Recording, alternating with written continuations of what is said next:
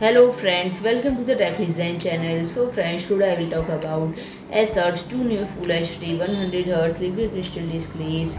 So friend, Acer recently unveiled its latest standard Full HD liquid crystal display, the EK271 HBI and EK241 Y HBI with a rate of ACE set to hit the market on 24 March. And friend both liquid crystal display use VA method and feature a range of advanced function including visual response mode which offers a response speed of 1 millisecond, display synchronization technology, AMD FreeSync, blue light shield to suppress blue light and flicker finish to eliminate screen flickering and friend the 27 inch model boasts a 72% NTSC color gamut approximately 16.7 million display colors. Brightness of 250 cadmium per meter square contrast ratio of 3000 gem 1 horizontal or vertical viewing angle of 178 degree.